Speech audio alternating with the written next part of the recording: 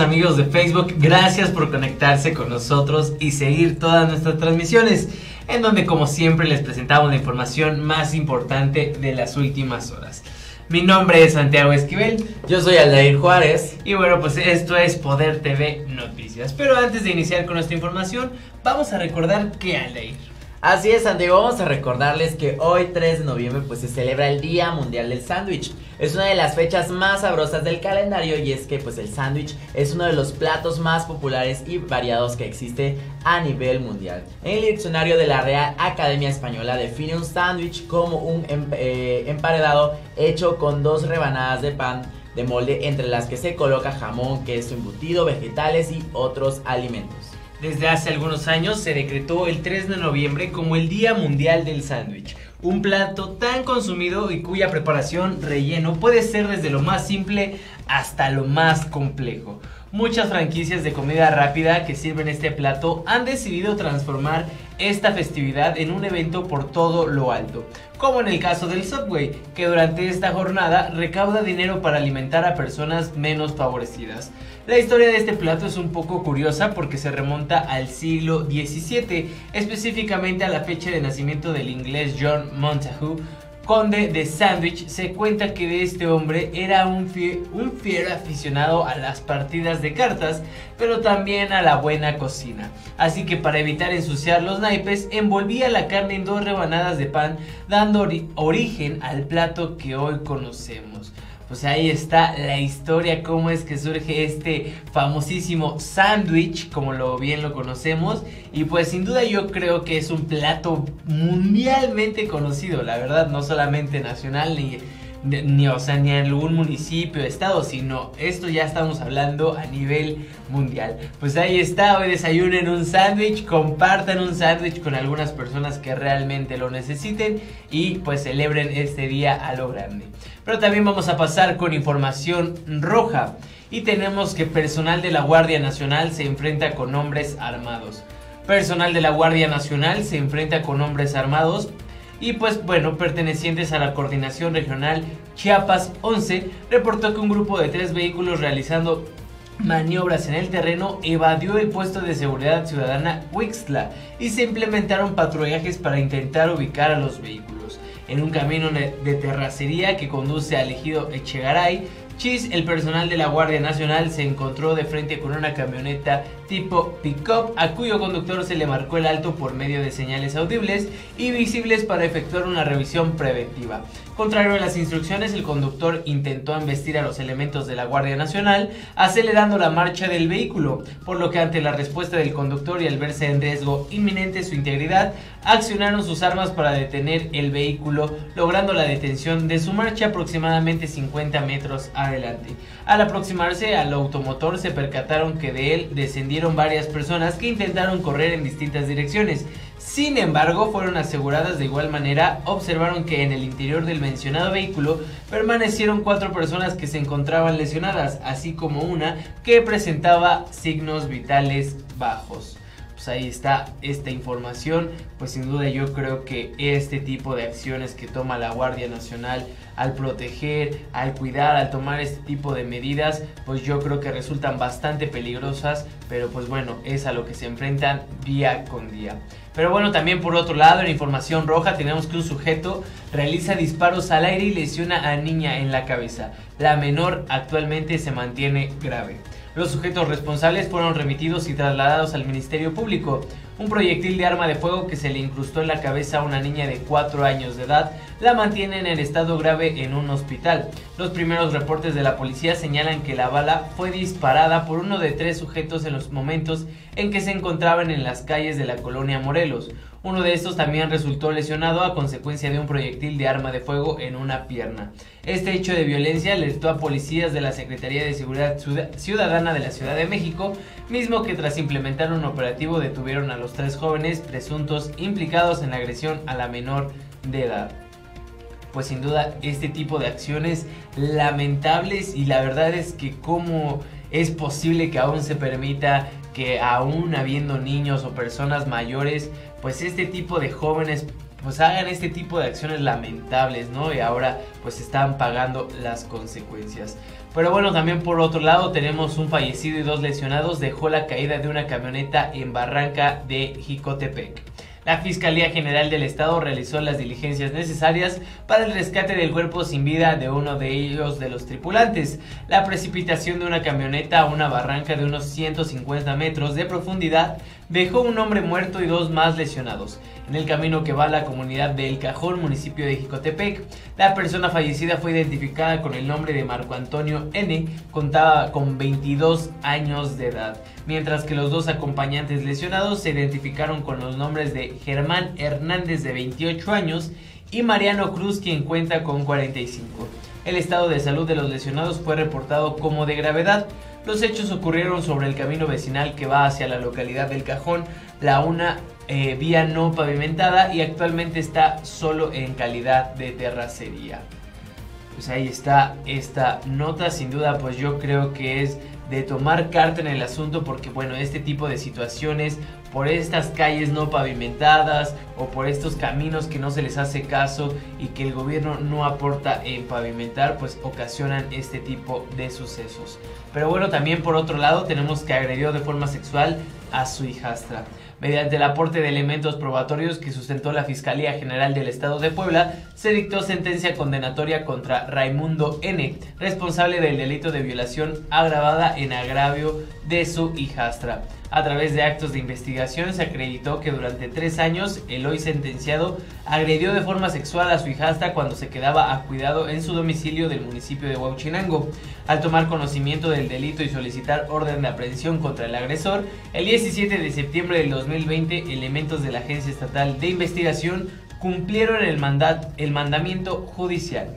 En seguimiento al caso, la Fiscalía de Investigación Regional presentó pruebas con las que constató la responsabilidad, por lo que el Tribunal de Enjuiciamiento condenó a 17 años, 6 meses de prisión a Raimundo N pues bueno, sin duda yo creo que ya estará pagando este tipo de acciones y qué bueno que ya está tras las rejas con 17 años por este tipo de acciones. Pero bueno, pues hasta aquí la información roja, vamos a un corte comercial y ya regresamos con información local.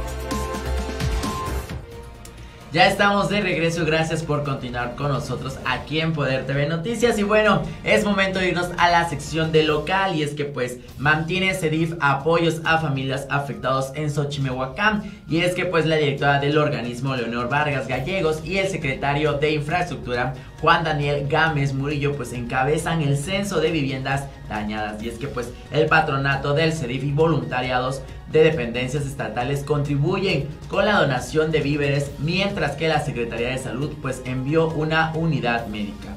En el estado de Puebla pues continúa la entrega de paquetes alimentarios colchonetas, cobertores, ropa de productos de higiene y medicamentos pues a las familias que fueron afectadas por esta explosión en San Pablo y pues quienes permanecen en el albergue de telesecundaria Adolfo López Mateos. Y es que la instrucción del gobernador Miguel Barbosa Huerta y de la presidenta honoraria del patronato del CEDIF, Rosario Orozco, junto con el titular pues de la Secretaría de Infraestructura, Juan Daniel Gámez, y el personal de Secretaría de Gobernación y Protección Civil Estatal recorrieron la zona afectada pues la Secretaría de Salud envió una unidad móvil de atención médica y el patronato del CEDIF, así como voluntariados de salud, economía y Tribunal Superior de Justicia contribuyen con alimentos, cobertores, colchonetas y además víveres.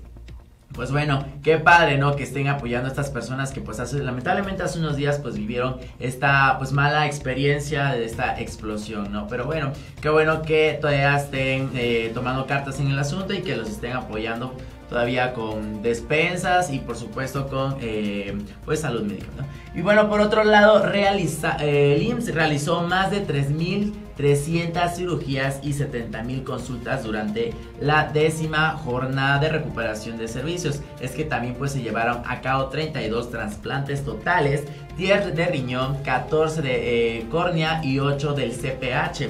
Una procuración de de 3 de tejido. Con la décima Jornada Nacional de Recuperación de Servicios es el Instituto Mexicano de Seguro Social avanza en el fortalecimiento de la atención médica que brinda a sus derechos habitantes y del 29 al 31 de octubre se realizaron 3.382 cirugías, 20.178 consultas de especialidad, 49.199 de medicina familiar 562 mil de estomatología y 67 mil de salud mental.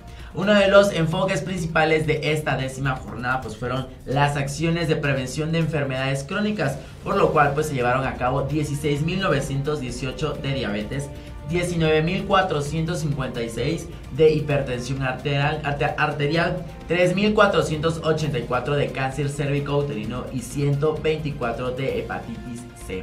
Y es que pues las 35 oficinas de representación en los estados y 24 unidades médicas de alta especialidad que participaron en la jornada pues dieron prioridad a la atención conforme a las especialidades con mayor diferimiento con la consulta externa y cirugía en segundo y tercer nivel, así como pues acciones preventivas integradas y consulta de medicina familiar en el primer nivel de atención.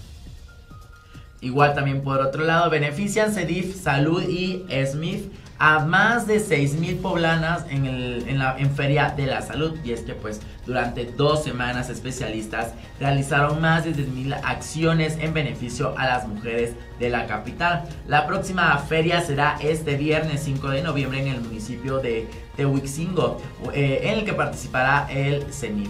Bueno, una de las asistencias de 6.838 poblanas y un total de 10.847 acciones registró la Feria de Salud por las Mujeres que el Sistema para el Desarrollo Integral de la Familia del Estado de Puebla. La Secretaría de Salud y el Ayuntamiento de Puebla pues realizaron en las dos últimas semanas de octubre mes rosa en la explanada del teatro principal en el Zócalo Capitalino respectivamente. Y es que por indicaciones de la presidenta honoraria del patronato del CEDIF, Rosario Orozco, la próxima feria de salud se realizará este viernes 5 de noviembre en el municipio eh, de Tehuixingo, en la que también pues se sumará el Sistema Nacional del DIF con el fin esto pues de prevenir enfermedades y mejorar la salud de las familias poblanas. También por otro lado, con gran participación se desarrolló la carrera nocturna y el concurso de calaveritas en Chilayote.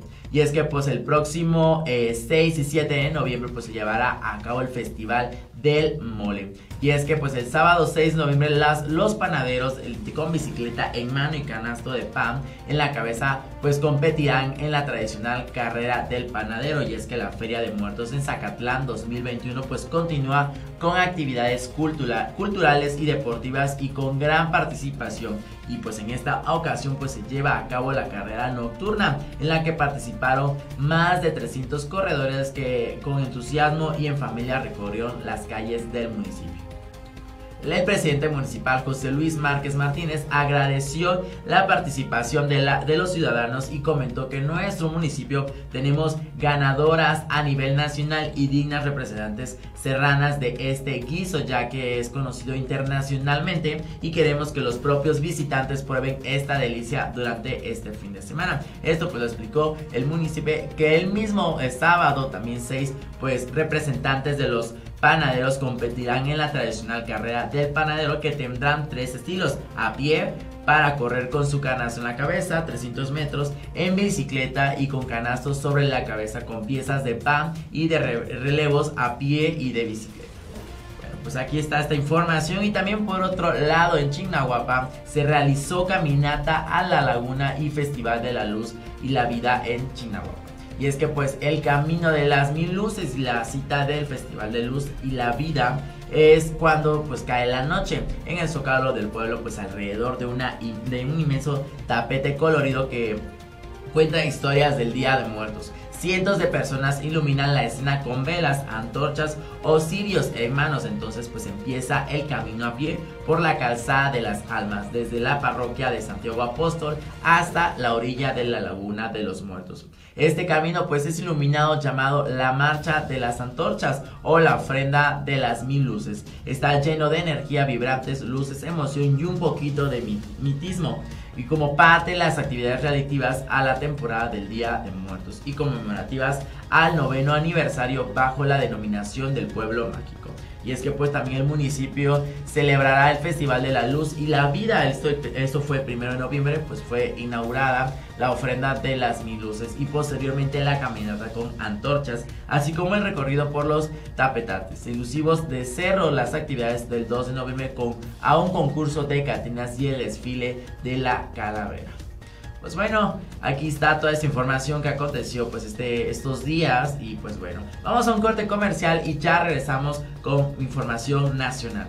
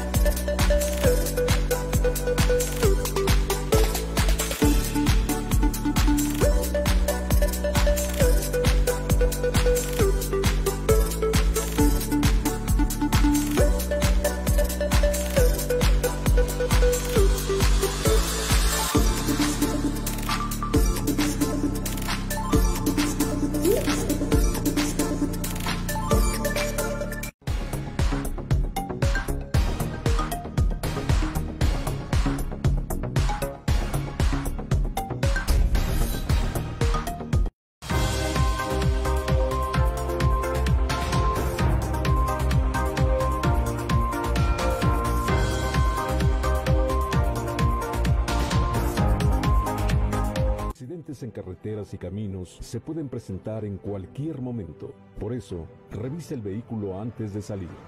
Maneja con precaución. Respeta los límites de velocidad. Obedece los señalamientos. Deja el volante si estás cansado, has bebido alcohol o consumido alguna droga o medicamento.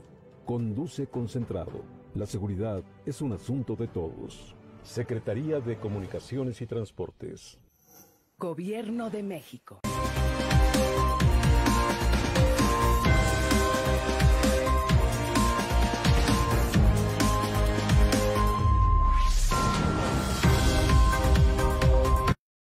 México es una belleza.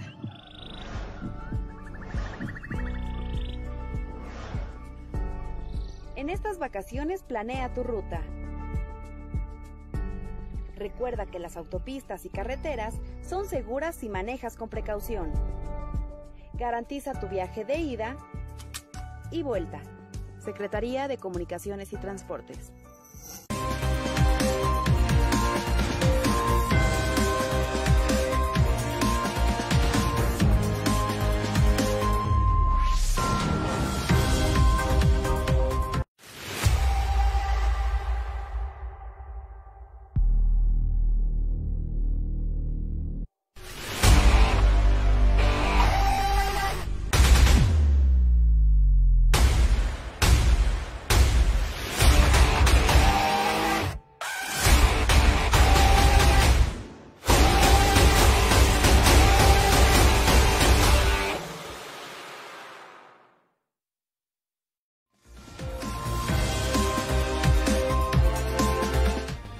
Ya estamos de regreso y vamos a comenzar con información nacional. Y tenemos que la Autoridad Educativa de Ciudad de México pide a estudiantes regresar a clases presenciales. El titular de la Autoridad Educativa Federal en la Ciudad de México, Luis Humberto Fernández Puentes, aseguró que las escuelas de la capital son espacios seguros para que los estudiantes regresen a las clases presenciales, por lo que llamó a las familias que aún no envían a sus hijos a los planteles a confiar en las autoridades y que se reincorporen a las actividades. En reunión virtual de evaluación a dos meses del inicio del ciclo escolar 2021-2022, el titular de la eh, AFCM aseguró que los contagios de COVID en la capital van a la baja y afirmó que en los planteles principal el objetivo es la seguridad de los alumnos pues Fernández Fuentes pidió a padres de familia no tener miedo de mandar a sus hijos a la escuela, pues existen las condiciones adecuadas y se trabaja en ello día con día. Y esto también con atención puntual en las medidas sanitarias impuestas por cada plantel. Además señaló la importancia de cuidar la salud emocional de los estudiantes, quienes llevan más de un año sin salir de su entorno familiar. Pues ahí estamos viendo la situación que se está viviendo en Ciudad de México. Yo creo que este es un tema bastante delicado a nivel nacional, ya que muchas personas en otros estados, en otros municipios, ya piden y exigen regresar a las escuelas, pero pues bueno, también hay que recordar que aún hay bastante contagio, aún hay personas que están bastante enfermas y delicadas por este virus. Pero bueno, también por otro lado tenemos que entierran a Octavio Ocaña en Tabasco. Así fue el último adiós a Benito de Vecinos. La muerte de Octavio Ocaña ha impactado a muchos famosos y compañeros del mundo del espectáculo. Sin embargo, también cientos de televidentes y fans del famoso han quedado envueltos en el luto tras el fallecimiento del querido Benito. Así quedó como prueba la forma en la que recibieron a Octavio Ocaña en su natal Villahermosa, Tabasco, en donde trasladaron su cuerpo para sepultarlo te contamos cómo se llevó a cabo el sepelio de Octavio Caña. A través de redes sociales quedó demostrado el cariño que el público le tenía a Octavio Ocaña. Pues en medio de aplausos y hasta de las mañanitas, fans le dieron una cálida bienvenida al cuerpo de Octavio Ocaña, esto en Tabasco, además de que lo acompañaron para darle el último adiós en su sepelio. Esto pues arribó a la capital tabasqueña en donde más de 1300 personas lo esperaban. Incluso algunos fans cantaron las mañanitas para Octavio Ocaña, quien cumpliría 23 años el próximo 7 de noviembre. Asimismo, los fans portaron cartulinas en las que se escribieron pues palabras de aliento para su familia. Tras varias horas del funeral, este lunes por la mañana, sus familiares, así como su novia y sus amigos, le dieron sepultura al cuerpo del actor Octavio Ocaña en el Panteón Jardín Recinto Memorial. Muchos asistentes de pie y otros en carros acompañaron a la familia del famoso Octavio Ocaña. Durante pues eh, también este momento se escucharon pues las voces que exigían justicia. Entre llanto la familia decidió pues dedicarle palabras para el aclamado actor de Televisa, pues quien dio las últimas palabras fue su madre, quien dijo que en algún momento estarán juntos de nuevo. Lamentable este suceso que ha rondado en todos los medios, pues este fin de semana, estos últimos días, pues yo creo que hay que exigir esta justicia y, y como tal, pues dejarlo también descansar pero pues sin ninguna duda también tomar cartas en el asunto de este caso. Por otro lado tenemos que impuesto verde de Samuel García provoca choque en, eh, en Congreso. Luego de que el gobernador Samuel García anunció la creación de un impuesto verde dirigido a las empresas que contaminan en Nuevo León, diputados del Partido Verde, PAN, PRI y Movimiento Ciudadano del Congreso local discreparon de la propuesta, argumentando que es mejor un incentivo para evitar que continúe la vieja práctica de pagar por contaminar, pues tras la instalación de un altar de muertos en el que resaltaron las fotos de familiares de ciudadanos fallecidos por la pandemia, Raúl Lozano, coordinador del Partido Verde, consideró que el gobierno podría cambiar la idea de impuesto por incentivo antes de enviar su propuesta en el paquete fiscal 2022. El también promovente de la Agenda Verde recordó que en otros estados de la República y en el mismo Nuevo León predomina la frase como empresa o Pedrera, sigo contaminando y pago por contaminar. Eduardo Gaona, líder de Movimiento Ciudadano, explicó que la propuesta de ley no afectaría a todas las empresas, más que a 140 o 160, 160 perdón, que tiene identificadas la Secretaría de Medio Ambiental, al tiempo que se comprometió al realizar los cabildeos necesarios para que avance el tópico impulsado por el Ejecutivo. Por otro lado, también en más información tenemos que aprueban diseño de boleta electoral para elección extraordinaria en Ilatenco Guerrero. El Consejo General del Instituto Electoral y de Participación Ciudadana de Guerrero aprobó la documentación electoral que se utilizará en el proceso electoral extraordinario del Ayuntamiento de Iliatenco, entre ellos el diseño de la boleta electoral para la elección municipal extraordinaria cuya jornada electoral será el 28 de noviembre, se imprimirán 7.658 boletas. A diferencia de la del 6 de junio, el nuevo diseño de la boleta contempla solo a los 7 partidos que conservaron su registro ante el Instituto Nacional Electoral, comenzando de arriba hacia abajo, de izquierda a derecha por el PAN, PRI, PRD, PT, PBM, MC y Morena. En el proyecto del Instituto Electoral se especifica que la boleta estará impresa en el papel pues de seguridad y contará con varias medidas, como marcas de agua, fibras ópticas visibles e invisibles pues habrá que ver cómo es que se lleva este proceso electoral extraordinario y pues ya más adelante seguramente traeremos más información de qué es lo que resultó o quién es el que resultó ganador. Pero bueno, también por otro lado tenemos que encabezó Lorena Cuellar Cisneros la reunión cruzada por los pueblos mágicos. El objetivo es fortalecer la industria del turismo en la entidad. La gobernadora Lorena Cuellar Cisneros encabezó la reunión cruzada por los pueblos mágicos en la que refrendó su compromiso de realizar las acciones necesarias para reactivar el sector y potencializar los atractivos de Tlaxcala a nivel nacional e internacional como parte fundamental de su administración. En el encuentro que se llevó a cabo en Casa de Gobierno al que asistieron los presidentes de la Comisión de Turismo del Senado de la República, Antonio García Conejo, de la Asociación Nacional de Comités Ciudadanos de Pueblos Mágicos, de México, Carlos Gómez Flores, y la titular de la Secretaría de Turismo del Estado, Josefina Rodríguez Zamora, plantearon la necesidad de crear una alianza estratégica entre el sector público y privado para establecer directrices que detonen el turismo en la entidad. La refirió que Tlaxcala cuenta con mejor infraestructura para recibir visitantes con la reciente inauguración del Hotel San Francisco, la próxima apertura del Museo de la Memoria y la remodelación del centro histórico. A su vez, Gómez Flores indicó que además de Huamantla y Tlaxco, el estado tiene más municipios con potencial para ser nombrados pueblos mágicos, sumado al desarrollo del turismo de naturaleza. En su oportunidad, Josefina Rodríguez Zamora representó un diagnóstico general de los pueblos mágicos, sus requerimientos y necesidades, así como una propuesta para integrar a esta categoría a otros municipios que conservan sus tradiciones, historia y cultura. Pues ahí estamos viendo cómo es que se está llevando este tipo de iniciativas en Tlaxcala. Yo creo que son bastante positivas, sobre todo pues por motivar este tipo de turismo y no solo nacional, sino internacional y que todo este tipo de pueblos mágicos en los que se está buscando esto pues sean bastante impulsados. Pero bueno, pues hasta aquí la información. Vamos a un corte comercial y ya volvemos con más.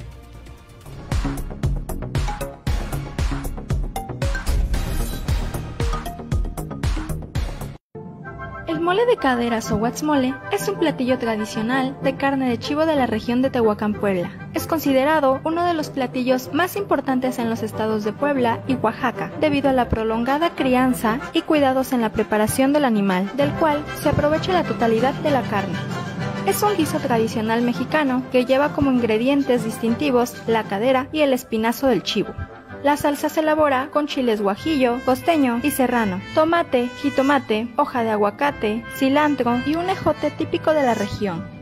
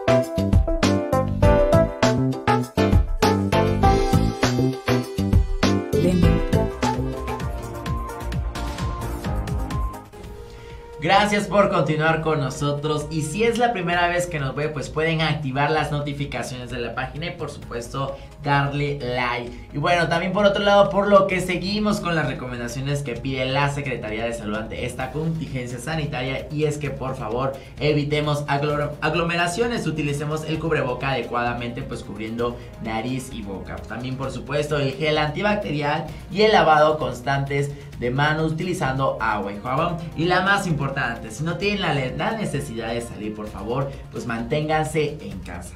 Bueno, también por otro lado vamos a pasar ya a información y es que pues es momento de entrar a la sección de política y por bueno, la juez eh, ordena a Lozoya a presentarse a audiencia en el reclusorio norte y pues Después de 16 meses pues de su regreso a México, el expresidente del petróleo mexicano Pemex, Emilio Lozoya Austin, acudirá por primera vez el día de hoy al Centro de Justicia eh, Penal Federal en el reclusorio norte para pues comparecer y cumplir con el plazo legal establecido para presentar los datos de prueba que recabó para su defensa en el caso de Obrecht. Bueno, pues es que el juez del control José Artemio Mendoza ordenó a Lozoya que se presente físicamente a la audiencia donde también pues se debatirá su petición de aplazar por más de la sexta ocasión por un periodo de 60 días en el cierre pues de la etapa de investigación complementaria porque asegura que aún le hace falta recaudar algunas pruebas.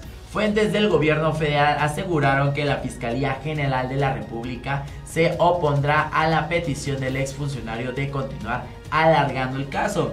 Pero sin embargo la decisión recaerá en el juez del control quien fue eh, una vez que escuche a la defensa y a los fiscales decidirá si amplía el plazo y si el juez accede a la petición de la FGR de no prolongar más este asunto. Entonces empezará a correr el plazo de 15 días para que la Independencia presente su acusación contra Emilio Lozoya.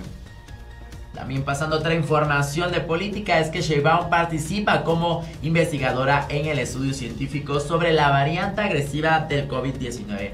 Y es que pues Claudia Sheinbaum participó en una investigación académica sobre una de las variantes de, más agresivas del virus que causó el mayor impacto de hospitalizaciones y muertes durante la segunda ola de la pandemia de la Ciudad de México. Y es que en su faceta de investigadora, la jefa de gobierno de la Ciudad de México colaboró con el artículo publicado en la, eh, la revista especializada Visuries del 29 de octubre titulado El panorama evolutivo de la variante. Y es que pues el impacto clínico en la Ciudad de México en el actual participaron 25 investigadores. Los especialistas pues analizaron el impacto y el desarrollo de esta variante del COVID que fue la mayor eh, prevalencia en la capital del país hasta el mayo pasado, cuando llegó la, con fuerza la variante Delta. Y es que pues el grupo de trabajo encabezado por Alberto Cedro del Instituto Nacional de Ciencias genómicas, pero eh, en el listado también estuvieron, aparecen la jefa de gobierno Claudia Sheinbaum, la secretaria de Educación, Ciencia, Tecnología e Innovación Rosaura Ruiz y los directores generales de la imagen de Luis Herrera y del Instituto Nacional de Ciencias Médicas de Nutrición Salvador Subarín. David eh, y Claudia Sheinbaum condujo a las, eh, a las dos etapas más graves de la pandemia en la Ciudad de México. Esto pues cuando inició la pandemia y los casos llegaron a tener los hospitales de la capital del país a más del 90%. Y posteriormente al inicio del 2021 cuando la variante Delta ya estaba presente y comenzó a repuntar el número de los casos del COVID-19. Por otro lado, Morena propone que eh, robo de identidad se castigue hasta con 10 años de prisión. Y es que la fracción de Morena en la Cámara de Diputados pues, presentó una iniciativa para topificar el ámbito federal del delito del robo de identidad y por supuesto castigarlo con pena de 6 a 10 años de prisión hasta 200 eh, días de multa con 28.340 pesos. Y es que pues la propuesta de adicción al Código Penal Federal establece que comete el delito de robo de identidad en el que por cualquier medio obtenga datos personales o financieros, esto pues con el objetivo de suplantar la identidad de un tercero y obtener pues algún beneficio para sí o para otra persona perjudicada. Del eh, patrimonio de la persona suplantada o para la comisión de cualquier otro delito. Y esto pues de acuerdo con la Comisión Nacional para la Protección y Defensa de los Usuarios de Servicios Financieros en el 2020 se registró 4.593 966 reclamaciones de usuarios de la banca por posible fraude y 60.449 por posible robo de identidad. También por otro lado, ya inicia la colecta de firmas por la eh, ratificación de AMLO en el poder y es que pues la asociación civil que siga la democracia pues comenzó con la colecta de firmas en la zona de Tampico, Madero y Altamira como partes del proceso de revocación de mandato contemplado para el próximo 27 de, del año 27 de marzo del año siguiente. Y es que pues representantes de la agrupación informó que a nivel país la venta es lograr 3.5 millones de firmas de las 2.8 millones que se necesitan. Estas pues responden al 3% de la lista nominal como el, eh, lo estipula la instituto, el Instituto Nacional Electoral que detalló que en Tampico se busca obtener 12 mil firmas y en el estado de Tamaulipas un promedio de 110 mil. Y es que pues también la recabación de firmas será en un formato impreso y también a través de una aplicación digital. Está pues diseñada por el órgano electoral y es que en la, en la tarde de ayer estuvieron en la Plaza de la Libertad en donde pues algunos ciudadanos ya comenzaron a proporcionar sus firmas. Agregó que acudirán a las colonias para visitar los municipios y a través de su ejercicio de voluntariados llenar los documentos. Pues bueno, aquí está la información de política. Vamos a un breve corte comercial y ya regresamos con información internacional.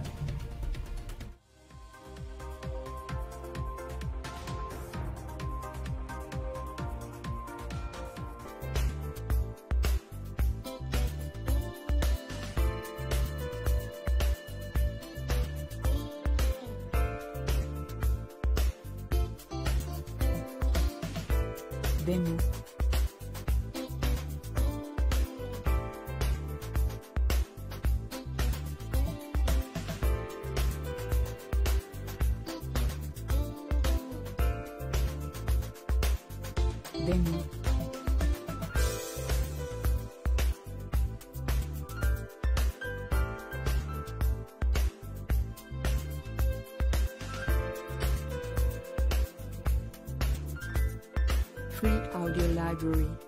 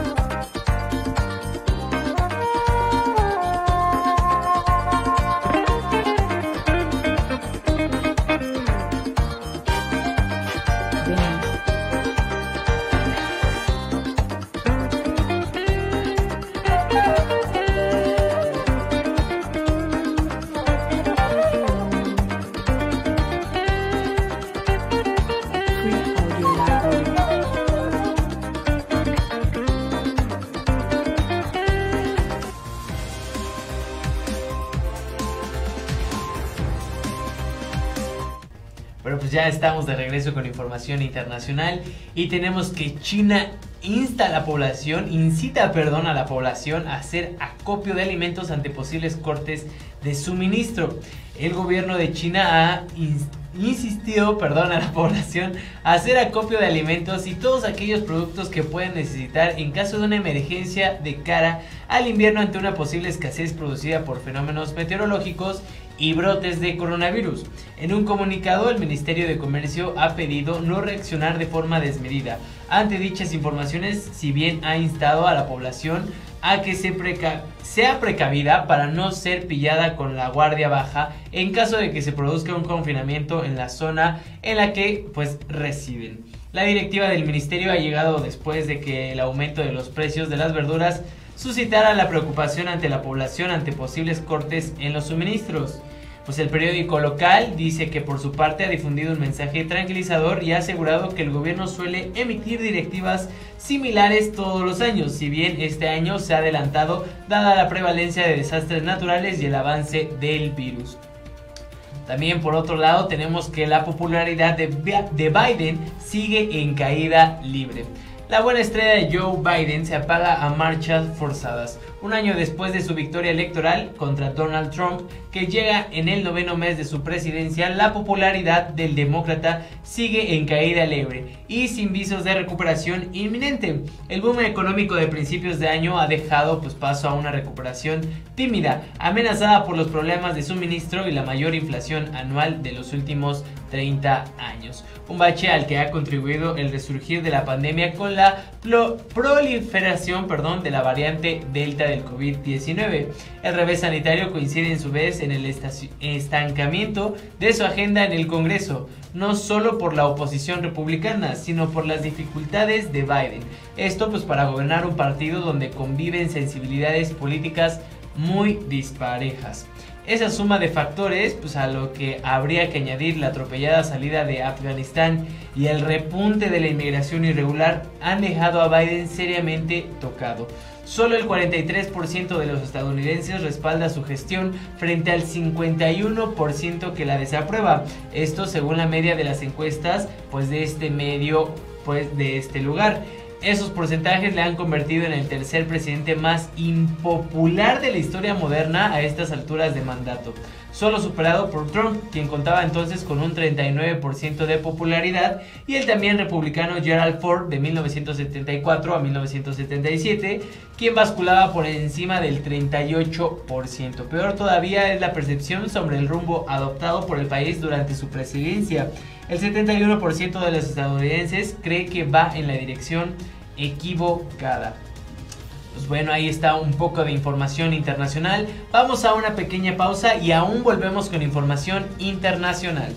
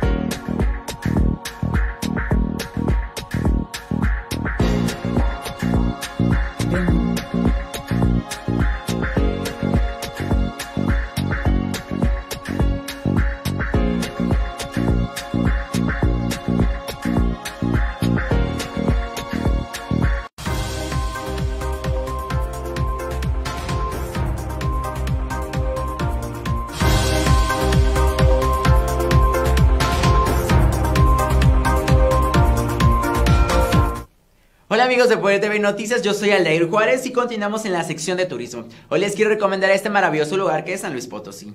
Es una ciudad del centro de México, fue importante centro minero del oro y la plata en camino real dentro de la tierra. Es considerada como uno de los edificios coloniales con imponente del templo de San Francisco de la época barroca. Se denomina el frondoso jardín San Francisco, cerca se encuentra también el templo del Carmen. Chilitla. Este está San Luis Potosí rodeado de una flora y fauna y se encuentra el jardín surrealista de Edward James, una experiencia que debes vivir en carne propia. Admirar las esculturas que fueron construidas al aire libre adornándose poco a poco con la naturaleza. Y por supuesto también les quiero platicar un poco de la Huasteca Potosina. Es un espectáculo de agua en sus diferentes tonalidades de vegetación y sobre todo la majestuosidad de la naturaleza te abrazan y te dan la bienvenida a uno de los lugares más bonitos de México. La cascada Tamul es considerada una de las más bellas. Aquí podrás disfrutar un inolvidable recorrido en canoa a través del río. Es sorprendente su caída de agua. Y como pueblo mágico también te quiero recomendar a Quismón. Es considerado como uno de los mejores lugares para la aventura. Al poderse realizar diferentes tipos de deportes que involucran espectaculares cascadas, ríos y cavernas. Pues aquí les dejo una recomendación más de San Luis Potosí. Es una experiencia inolvidable que te gustará vivirla. Yo soy Aldair Juárez y continuamos aquí en Poder TV Noticias.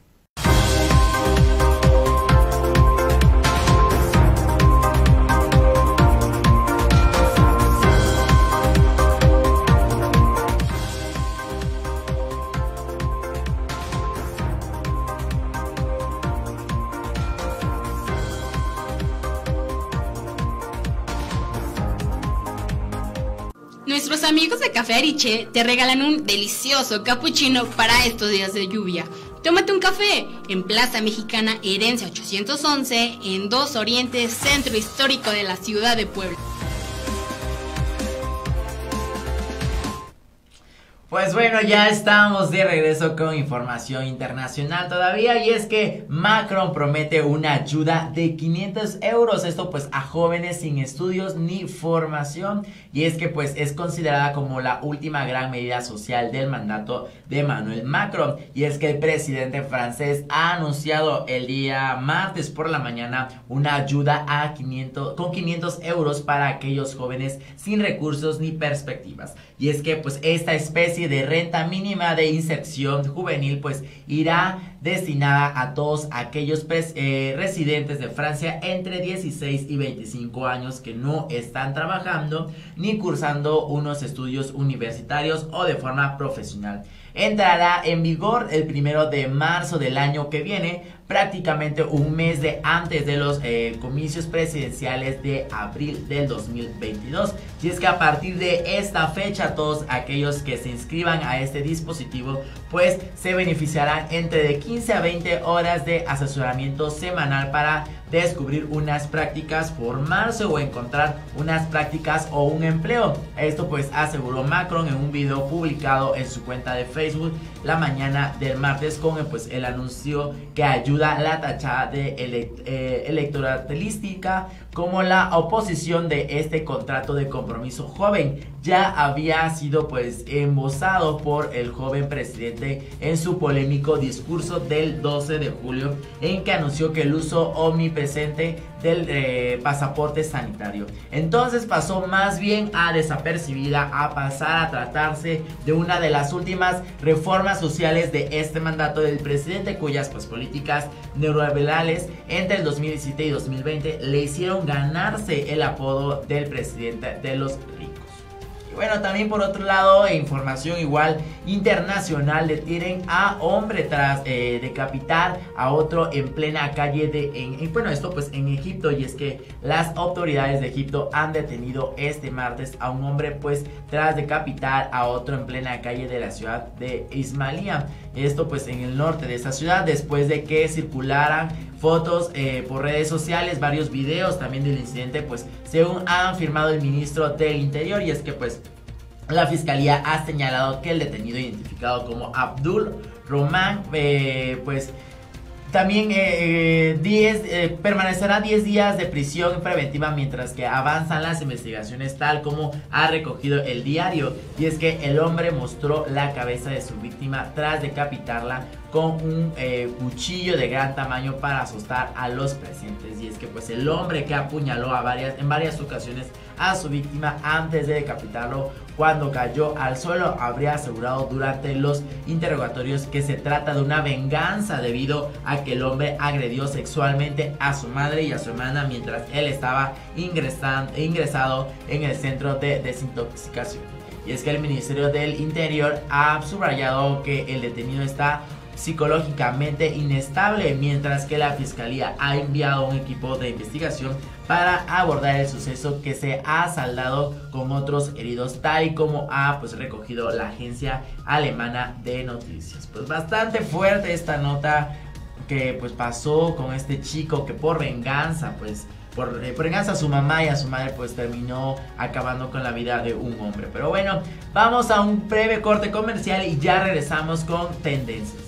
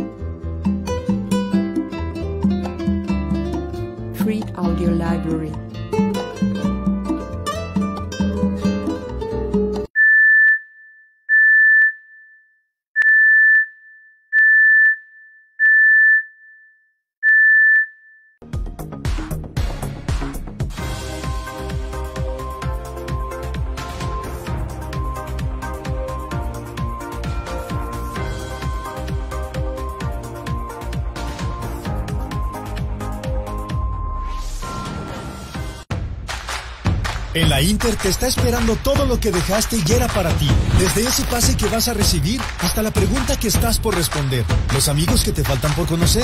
La victoria de último minuto. Las leyes, la química, la ciencia. Esa pasión que te mueve. Tiene un lugar aquí. El talento que no sabías que tenías, pero que te llevará muy lejos. Las risas, abrazos, los logros, aplausos. Todo lo que te falta por vivir porque lo mejor de la uni es estar en la Inter. Un mejor futuro te espera. Nos vemos pronto.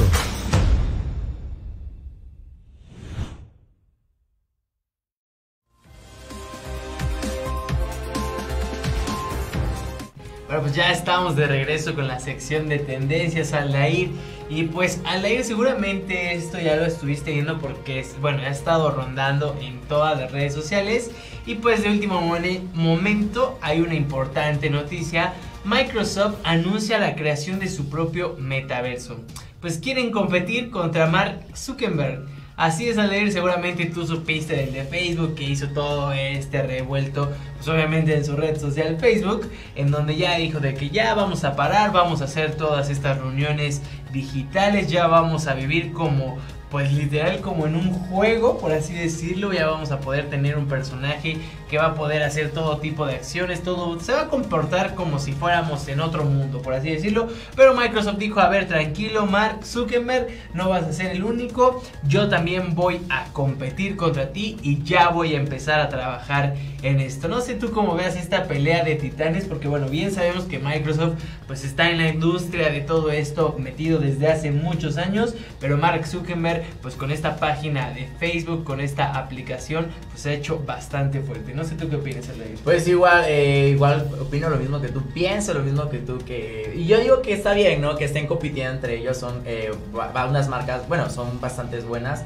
Y pues qué padre que están haciendo esto y pues ah, bueno, ahora pues uno a elegir, ¿no? Sobre qué lado estar. Pero bueno, yo veo bastante bien, la verdad que no tenía mucho noción de esta información, pero por lo que veo ahora está bastante agradado. Pero algo que también el día de ayer se hizo tendencia es que, damas y caballeros, con ustedes, los primeros chiles cultivados en el espacio. Y es que los astronautas los utilizarán para preparar tacos a toda la tripulación. Esto pues con el proyecto de que forma parte de las intenciones de la NASA para hacer alimentos en el espacio. Lo que presenta una gran ventaja para los viajes de larga duración. Santiago, ¿tú qué piensas al respecto de todo esto que pues está pasando, no? Pues sí, al aire estamos viendo en pantalla cómo es que celebran con estos tacos en el espacio. Pues sin duda yo creo que es algo, pues, sobre todo para los mexicanos de celebrar, ¿no? Que ya exista pues el picante allá en el espacio. Yo creo que por eso también la NASA lo populariza un poco más porque bien sabemos que el picante a todas las personas les gusta. Y pues bueno, a lo mejor algunos no son tan fanáticos de ponerle a la comida o así, pero pues bueno, lo han llegado a probar y hay alguna cosa pues que les puede gustar con este tipo de picante. Bueno, ahí estamos viendo pues los primeros chiles cultivados en el espacio. Pues yo creo que es un gran avance, yo creo que estamos hablando de que poco a poco iremos viendo este tipo de alimentos ya en el espacio y pues bueno, sobre todo por ellos que sufren bastante con esto de la alimentación, ya podrán tener su picante en su taco. Pero bueno, Aldair también esto fue tendencia. Si ya lo habíamos anunciado hace algunas semanas, pero ahora sí, ya agárrense. Netflix el día de hoy, pues ya llega con los juegos que llegan pues a esta app llamada Netflix. Pues primero para Android, pero ellos está en camino. Juegos exclusivos, sin anuncios, sin tarifas adicionales y sin compras dentro de la aplicación.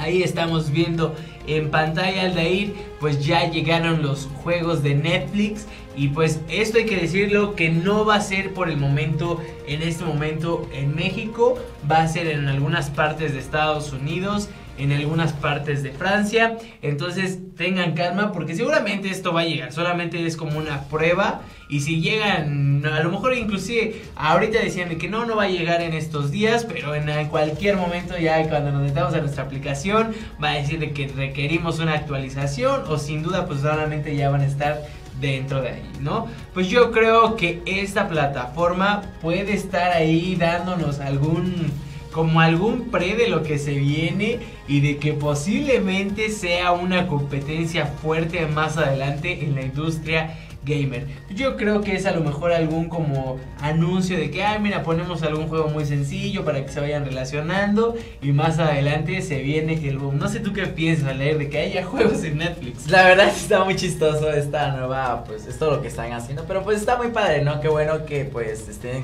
sacando estos juegos y pues bueno, ahora será el caso nada más de esperar porque pues como bien dijiste todavía no llega a México, pero esperemos de que pues igual antes de que termine el año o cuando iniciemos el próximo año pues ya tengamos esto pues accesible aquí en México, ¿no? Pero oye, ¿qué crees? Hemos llegado a la parte final de nuestro programa de hoy. Y pues no nos queremos despedir sin antes recordarles que nos pueden seguir en todas nuestras redes sociales como Poder TV en Facebook y Twitter, Poder TV oficial en Instagram, Poder Político MX en YouTube y recordar que Poder TV es un enlace más de Poder Político Digital.